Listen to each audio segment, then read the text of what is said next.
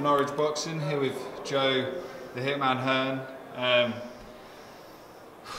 what, what can we say of that fight, you know? Um, Yeah, quick fight.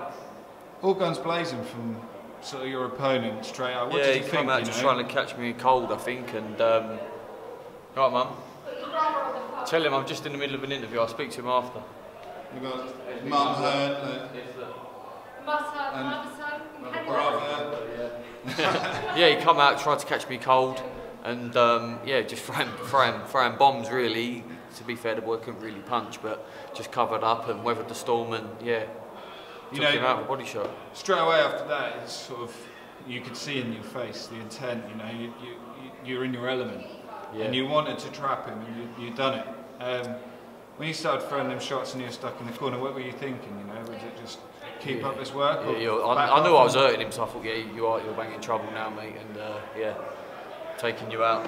What can we say? It's a difficult fight to talk about. You know, there weren't Yeah, it was just a little bit sort of. He come out just all guns blazing. He was throwing so many shots. I think one point he, he fell on the floor just from sheer momentum of the hooks. But yeah, just what can you do? It's a win's a win. It was in the what minute 15, minute 16 the first round, and you know What's- another knockout.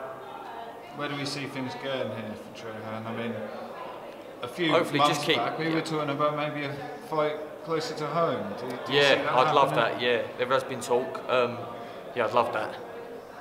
Get all my all, all my friends and uh, family. You know, it's, distance for me to, to bring up my support up here, but yeah, closer to home would be great.